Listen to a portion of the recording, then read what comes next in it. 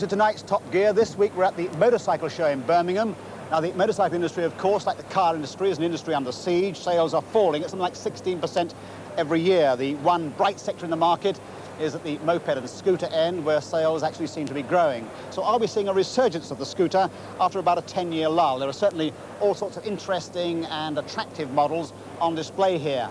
In terms of technology, there are two main themes at the show. One is aerodynamics. The motorbike is essentially a very bad shape in terms of aerodynamics, produces all sorts of drag, and the motorbike of the 80s will certainly have to be a smoother, cleaner, more aerodynamic shape. The other is engines. The engine of the 80s will be smoother, quieter, vibration-free compared with its predecessor.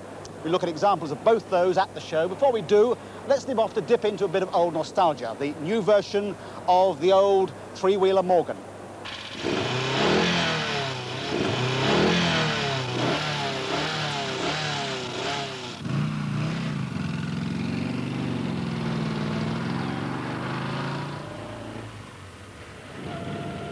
Morgan started building three-wheelers at Malvern in 1910. And while the first models were spidery cycle cars, they, they very soon progressed to building fire-eating little monsters. In fact, by the 20s and early 30s, supercharged models were lapping Brooklands at over 100 miles an hour and displaying truly fearsome acceleration. In fact, Morgan kept on building three-wheelers right through to the 1950s until the factory changed to all four-wheel production. Now, Tony Divey, a technical illustrator, had always loved these Morgan three-wheelers. In fact, he had eight of them in a row. And he decided to build not so much a, a replica as more a, a logical extension of the design idea using modern technology and materials. Now, for power, he chose not a British Matchless or Jap engine, but an Italian Moto Guzzi 1000cc unit, developing no less than 70 brake horsepower in this tiny little vehicle. The drive goes to the, the very thin rear wheel via a prop shaft and a five-speed gearbox. The chassis is a, a steel unit, it's got alloy body panels, and the bonnet and boot cover are made of glass fibre. Now, when it's fully equipped, this little Triking weighs just 700 weight, so the performance is bound to be really good. Uh, they claim over 100 miles an hour and 0 to 60 in under 8 seconds, which is pretty spectacular. And if you want to go even quicker, you can buy the Moto Guzzi engine in Le Mans tune, which gives you no less than 80 brake horsepower and you've got to be a very brave man indeed to drive that one quickly, I would think.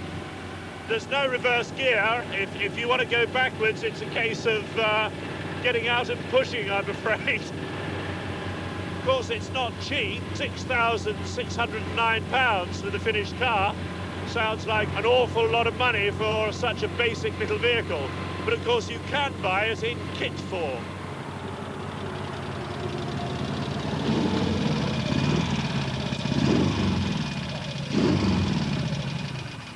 Magic.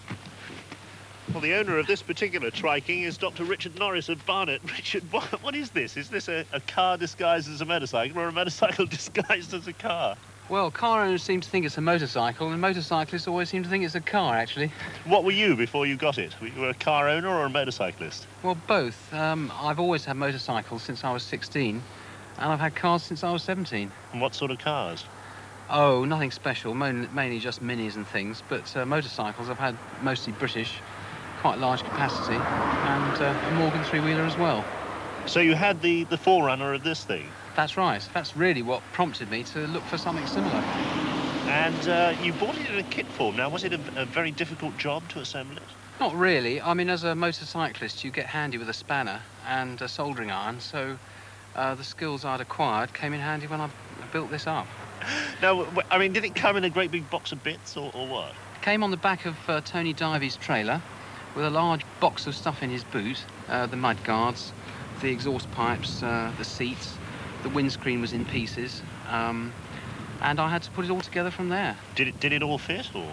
No, it didn't all fit. Uh, I had to do what people euphemistically call easing various pieces to make them fit properly. Um, but basically, yeah, it was all there, and uh, it took about a week to get it together. So when you started building it, did you find a lot of difference between this and the, the original Morgan? I mean, was it better or what? Well, for my money, the design of this is, is uh, way and above better than the Morgan. I mean, it's a very strong chassis. Uh, the suspension's excellent. It doesn't throw you off the road when you hit a bump. Um, this is terrific. It really is good. I mean, with, with 70 brake horsepower in front of us and a very, very thin rear wheel, I mean, the road holding must be fairly problematical some of the time, isn't it? In the wet, it's uh, pretty hairy. You have to be careful. Um, but in the dry, it's not too bad. You can slide it quite, uh, quite handsomely. well, you can, maybe. I think I would. Do you think um, uh, it's money well spent? I mean, it's cost you over, what, £5,000 and a bit more. Um, are you happy with it? I'm very happy with it, especially since I hadn't any experience of these cars before I actually built my own. Um, it's proved ever so reliable. I use it for work, uh, use daily. When um, you say use it for work, you're a doctor. Do you, do you use it on right. your rounds? Yes, I do that. The patients seem, seem quite happy with it. Yes, jump in and out and stop, start motoring, it's fine. Well, that's the Triking, and if you think it's expensive, bear in mind that the real article could now cost you well over £10,000.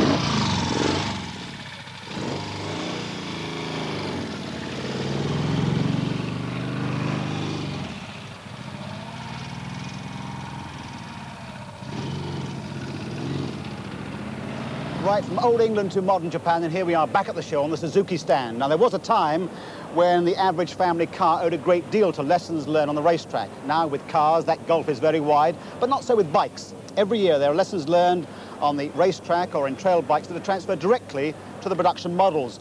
This uh, Suzuki 750, for example, is a typical example it's got a 16-inch diameter front racing wheel, for example, instead of a standard 18 or 19-inch wheel, because that reduces the gyroscopic forces enormously, enables it to be much easier to throw this bike into a turn.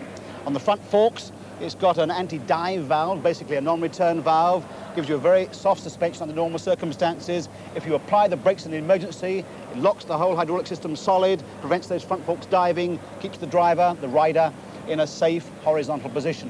The frame Instead of tubular steel, it's got this square section steel, very stiff, very strong, lighter by 20 or 30 pounds, and the lighter a bike is, the easier it is to handle.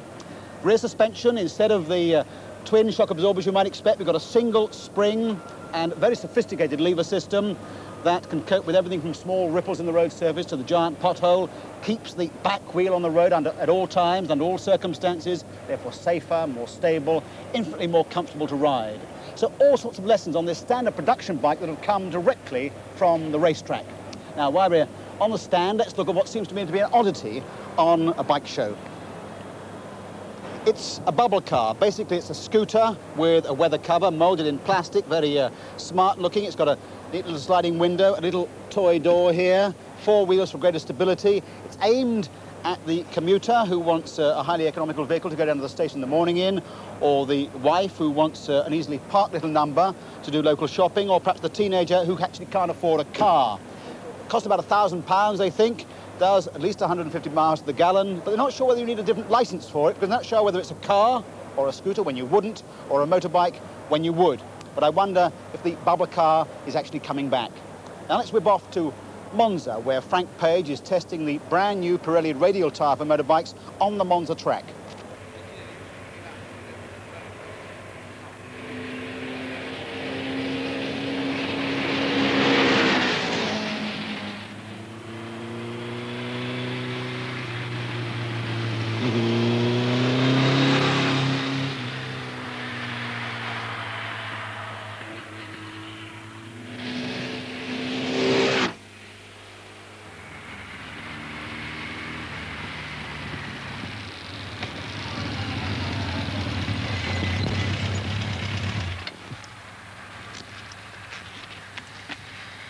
Well, to me, this feels like the motorcycle tyre of the future. Of course, at this stage, it's been developed primarily for racing, and it's going to be fascinating to see how the MP7 in its slick form performs on the circuits when it's in endurance racing this season. But in the longer term, it's the version of the tyre for road-going bikes, such as we've got here on this Kawasaki, which is going to be the more important. Now, why is the radial important? Because it holds its shape better at high speeds and under high loads. It doesn't dip or tap under fierce braking, and it doesn't wobble when you're accelerating sharply out of a corner. That means, of course, that it's safer both into and out of the corners. And to me, on this big Kawasaki, it certainly felt very secure going around this circuit here. It also seems to sop up the minor bumps in the road very well. But the fascinating question is, of course, why has it taken so long for the tyre manufacturers to come up with a radial plier for motorcycle tyres when they've had them on car tyres for so many years already? Uh, the reason is because uh, um, for motorbikes it's much more difficult to do a radial construction uh, to grant the characteristics of the, the, different way that the motorbike in terms of uh, road holding and uh, the way to stay in the road compared with the car. On the motorbike you have to make it a special construction on the sidewall just to achieve the radial construction suitable for the motorbikes. But so what's the basic difference then between the cross ply and the radial and how they perform on a motorbike?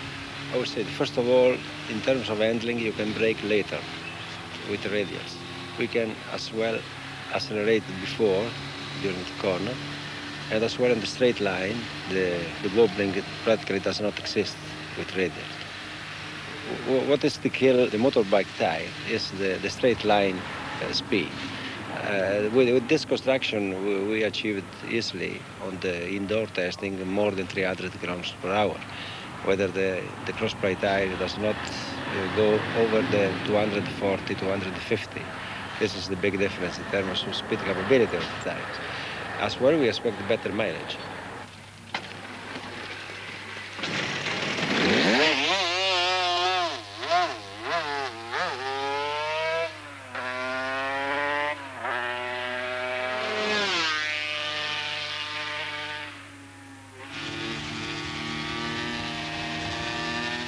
the cost of radial tyre development is quite high. These tyres presumably are very much more expensive. Are they going to be expensive when they become available for the ordinary person to buy in a motorcycle shop? Expensive uh, is, is, meaning is a lot of things because uh, uh, if you do the, for instance, uh, twice mileage with this tire compared with cross-ply tire, automatically you have to calculate the cost per mile, not the cost for, for tires. So overall, they should work out to be reasonably economical. I think like the P7 uh, shown on the car field, that as well if, if, they are a very expensive tire, but at the end of the day, we have found that uh, the customers found a good economical improvement in terms of, uh, of mileage, in terms of cost per mile. Now, the real question, and I'm sure all our viewers want answered, is when will they be able to buy the MP7 for their ordinary road-going bikes? Uh, we hope this should be possible maybe within this year or at maximum beginning of the next one. Right, back at the motorcycle show, and with me is Mike Evans, who's a spokesman for the industry. Mike, still sad to see a show that's almost entirely dominated by the Japanese, with just a small island of Englishness in the centre with a Triumph stand. Yes, well, 90% uh, of the exhibitors here are British. After all, we employ 30,000 people in the industry in Britain, um, even though the machines may be imported. So you're saying there's much more English here than meets the eye? Uh, yes, indeed. The smaller companies uh, manufacturing accessories, components and clothing have a very healthy export market for Britain. The market in general is going downhill. I mean, the sales are falling. I know you think that's partly due to legislation. Yes, that and the, and the recession. The legislation has affected us badly because the government introduced, introduced an overcomplicated system, which frankly is not producing the results. The object was to get people to take training, and unfortunately it seems to be frightening people off altogether. So what would you like to see happen? We would like to see incentives brought in. We'd like to see 16-year-old moped riders given the incentive to take training and take a test, and then we feel that they should be given the carrot of going on to a 125cc machine.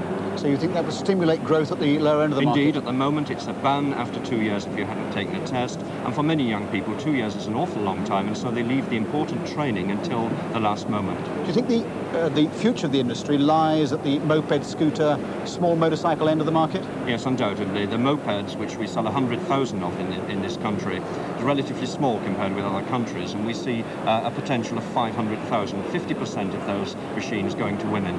Do you see a, a, role in that sector of the market for the British industry? Indeed, yes, very much so. So you see there's a, there's a brighter future ahead for this industry I think there is, particularly on the smaller machines. Mike, thank you very much indeed.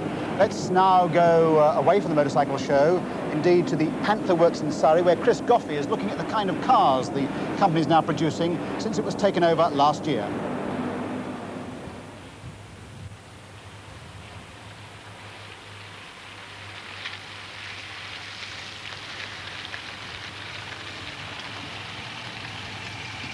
Now this is what I call travelling in the lap of luxury. Even if it's only uh, just up and down the road, I can, I can dream a bit.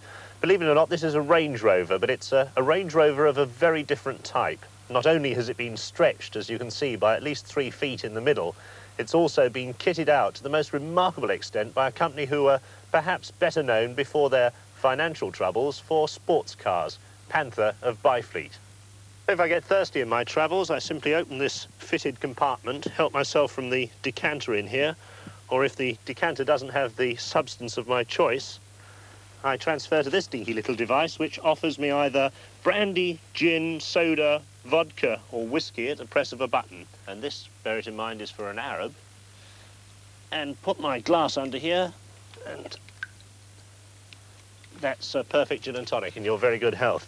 If I decide uh, that I'm fed up with spirits, I can always move on to coffee. And in this compartment, there's a beautiful Denby China coffee set. And to go with it, a matching set of flasks in the back, which are next door to the fridge that keeps my wine cool. And if I want to watch telly, I simply open the walnut cabinet and there's the telly, which my chauffeur can also watch on his monitor screen at the front. And if I don't like what's on the programme, I can simply put a tape on the video system and watch that as I breeze along.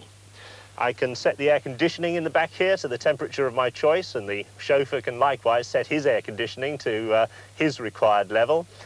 And if the, uh, the natives look hostile, I can always fold up the seats here and allow my bodyguard to travel in front of me to stop the stray bullet. At the end of all that, the only thing to do is to write out a cheque for £45,000 and give it to Mr. Panther. Mine will be in the post. Now, why do the Arabs want these extraordinary motor cars? What, what is it that they represent to them?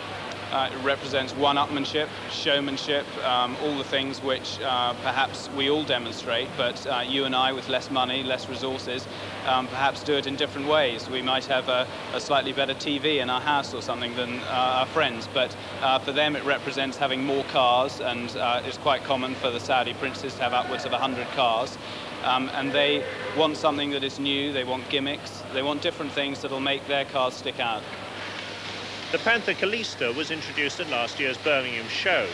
I think the primary appeal is the price, with the 1.6 Ford XR3 engine fitted one of these traditional looking but very quick sports cars will set you back just £5,850. That's very good value for money. If you really want to get the wind in your hair, the 2.8 Ford Granada engined version costs £6,800. That will top 120 miles an hour and travel from 0 to 60 in just 7.8 seconds. The Kallista production line, what, what exactly is in the car from South Korea now? Well, it's in fact the value in the sale price of the finished car, it's about 16%. But in the physical shape of the car, when we look at it on the road, what is South Korean? The body panels and the chassis. Why is it more economic to bring body panels and chassis all the way from South Korea rather than build them here in Byfleet? Really one reason, because the parts are made in the container factory of our parent company, and therefore the tooling to make the press the aluminium body parts and press the parts of the chassis um, and the presses are available um, at no cost to Panther. And if we had to go out and tool up in the UK, it would cost us a fortune, and we, well, it would be totally uneconomic. We want to keep very close tabs on what we're doing and how our car is selling and uh, control the marketplace ourselves. And we're doing that by selling direct. And in fact, it's uh, met with uh, very enthusiastic response from UK buyers. We've sold 210 cars to date in England. That's since we looked at the Kallista in our motor show programme last year. That's right, that's right. The Range Rover conversions, uh, how, how many would you aim to do then in a year? We'll do one every two weeks. So we, we reckon to do about uh, between 20 and 24 this and, year. And would any of those stay in this country? No. Um, I don't envisage that arising at all. They'll all go to Saudi Arabia. Now, the car behind us at the moment, what did that start life as? Started as a standard 500 SEL Mercedes, Which would cost, £25,000 approximately. and I can see you've done an awful lot to it. What, what's gone into that one? Well, we've painted it uh, in a metallic white paint. Um, we've retrimmed it in white leather throughout the car. We fitted a, a TV, um, a video, a bar, a hi-fi, and uh, trimmed everything that was uh, black in the car originally in white. So the final price tag on that uh, little number is going to be what? It amounts to about £42,000. One, last point. When these cars are selling, you were telling me, for 50, 60, 70,000 pounds, why can you make cars like this and sell them when Rolls-Royce don't seem to be able to make any money on their cars or their sales are declining at the same price bracket? Yeah, I think it's because the car that we're starting off with, and we're not altering the character of it all, and it's the things that make it good, is the Mercedes-Benz. And there's no doubt about it that it's uh, the best car of its type in the world. I think the only car that comes close now is Jaguar. Uh, certainly, I don't think Rolls-Royce and BMW come anywhere near it. Um, and it'd be nice to see this place crammed with Jaguars instead of Mercedes. Um, perhaps that'll happen with the resurgence of Jaguar. Well, back at the show, and here we are on the Honda stand, uh, the biggest bike maker in the world, of course, and certainly the biggest number of bikes imported in the UK. So they've got several very interesting new things up their uh, kimono sleeves. Perhaps the most important of all being this new engine. It could be described, I suppose, as the motorbike engine of the 1980s. The two-cylinder version powers the 250cc bike. This is the four-cylinder version. You can see how beautifully packaged it is inside the frame, a very narrow engine, which means you can mount it lower on the bike, uh, lowers the center of gravity, makes altogether for smaller, lighter, more easily handled machines.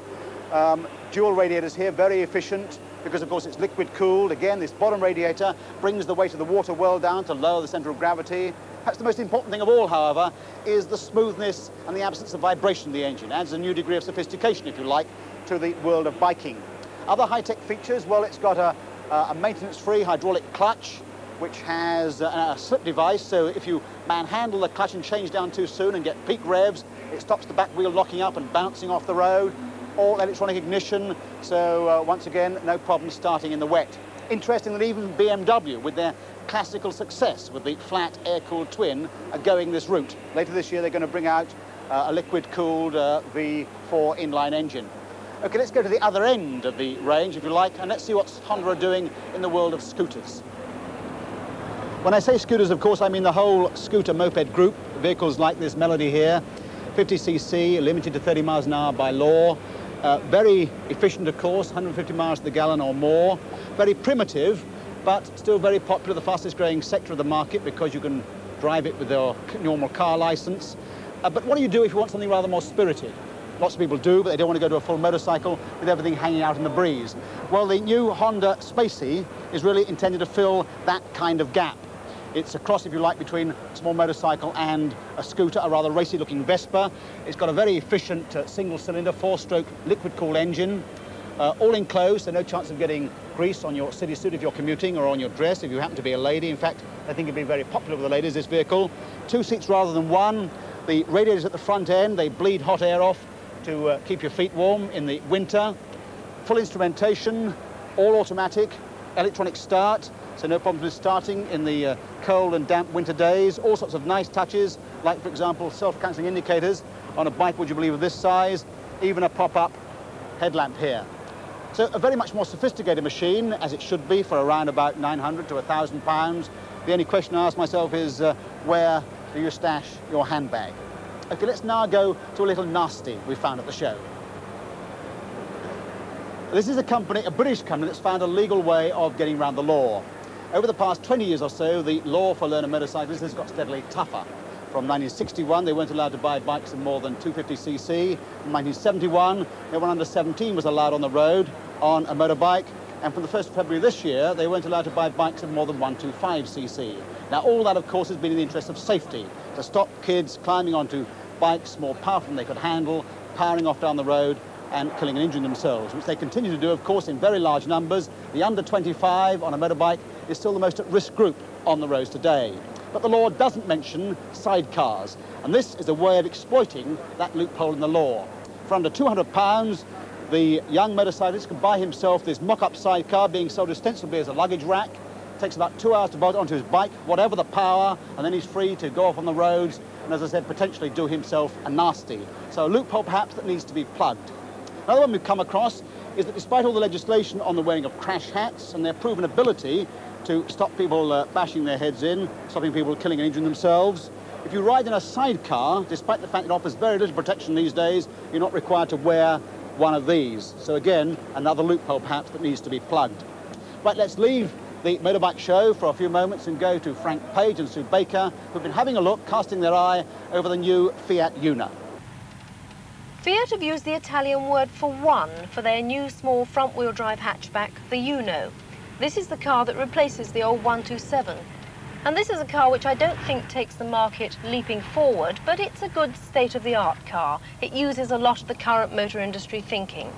But the emphasis right across the Uno range is on good fuel economy. And this particular model that I'm driving is the ES, which stands for energy saving. It has a 903cc pushrod engine, 45 brake horsepower, and a five-speed gearbox. Now that used to be thought of as something you have on performance cars, but it's now increasingly seen on the economy models. The ES has devices on the dashboard to help you drive economically. There's a vacuum gauge, and as long as you stay in the green zone, you're driving at the right sort of economic rate. But the important thing is that economy, and this is the car that now sets the pace in that crucial zone of the government fuel figures the 56 miles per hour steady cruising test. And this car will do 65.7 miles per gallon in that test. And that's now the one to beat. Well, I've been driving the special economy version. Frank Page has been looking at the other end of the Uno range and at the car with the biggest engine. This is the 1.3 litre 70 brake horsepower version of the Uno, which is also the five-door configuration. You can actually get the five-door shape in all the three engine sizes, the 903cc which Sue was driving, the 1.1 litres which come in the middle of the range, and this 1.3. This is still an economical car in general use. You should get about 40 plus on it, but the accent really is much more on performance. Plus points in my book, well, a good interior space for the front seat passengers, though it's decidedly cramped in the rear if you have the seats all the way back a sweet engine and gearbox combination which is well muffled by the double bulkhead between the engine and passenger compartments and a pretty good driving position with the main controls here you can reach with your fingers while your hands are still on the wheel. On the minus side I find these seat cushions very short and so they lack support for the thighs. I think they'd be very tiring on a long journey. And it seems very old-fashioned to me still to have a manual choke on a mass-market family car for the 80s. But I think the point that Fiat will really have to do something about is eliminating road roar and transmission noise.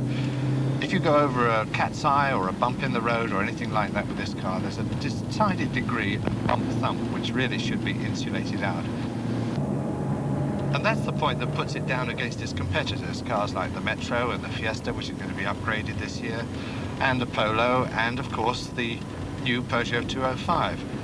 Against those, I don't know that it's that far advanced that it's going to do tremendously well. It will sell well in Italy, but I don't really see it being the top seller in Europe that the 127, its predecessor, was 10 years ago. Right, let's leave this show with a bit of glamour, the Lamborghini, if you like, of the motorcycle industry. It's called the Bimota. It costs £8,000, has a light alloy frame from Italy, a standard Suzuki engine, does 160 miles an hour, obviously aimed at the wealthy, high-speed travelling hairdresser along the Warren Beatty lines. That's all we have time for tonight. Next week we're in America, in fact in Detroit, the heartland of the American motor industry. See you then. Until then, drive safely. Good night.